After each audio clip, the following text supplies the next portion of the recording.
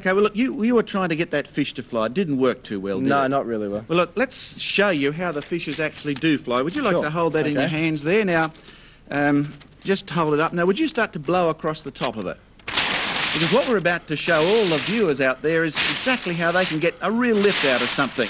I guess they can see how it's starting to come up, but you... Well, you're going to run out of air soon. So look, let's let's just turn you around. I borrowed my daughter's hairdryer here, and all, all the uh, the young kids out there can do this. It's much more fun if you've got something blowing all the time. Let's just switch this on. You hold it up like you were holding it up before. Like that? There we are. Now, see how it lifts up much better and Oh, much more smoothly than Yeah. you did. Let's get rid of the wrinkles there.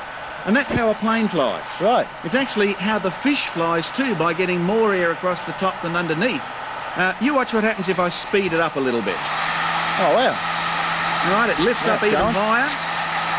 Of course, you can see it's shaking down the bottom end there. Yeah. Well, if it shakes too much, the whole thing won't work. It gets too turbulent. But this is a principle that was discovered by uh, Danny Bernoulli way back in the 1700s. I see. And it's a very interesting case of science, Graham, because it's an example of where we knew why something would fly even before we could make anything fly. So let's get this straight. Jet airplanes all have big uh, hair dryers in the wings, and that's how they well, fly. I guess that's one way of saying. Yeah, anyone who talks about fish like you do would say that about jet Uh-huh. planes. So Fair that's enough. all right, Graham. But it's not too bad.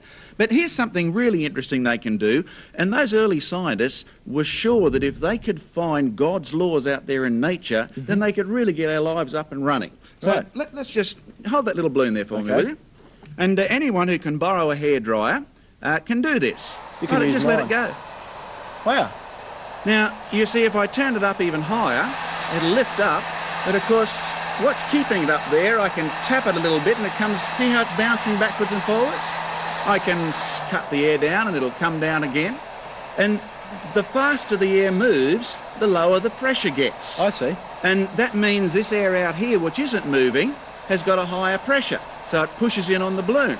This air pushes in on the balloon and actually keeps it in the middle there. See how I can tap it backwards and forwards? Mm-hmm. And if you get a lower pressure on the top of the wing and a higher pressure underneath, it will actually lift the plane up. So planes have actually got balloons in their wings, and no, that's how no, no. You, you'll be telling me they've got fishes next. But this is the air principle, the pressure, the law that's out there. Because if you get rid of the air pressure, you watch what happens.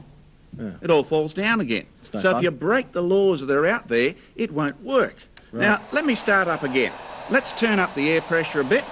Let's see how good we get. Away we go.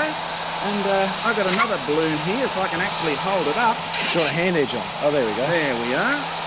And you can have fun all the time. Let's Because- try this glass. No, John. don't try the glass. What it reminds me of, of course, is that just as if you follow God's laws in nature, you can really get up and running. If you follow God's laws for your life, you can really get your life up and running as well. I see. That's that's the way it, it works, Graham. It's uh, really fantastic. You can change speed every now and then. Well, we've had Oh, a he fell fallout. You see, if you break the laws and cut the current, your life falls down again. So the basic principle is whatever God's laws is, if you want your life up and running, find it and follow it.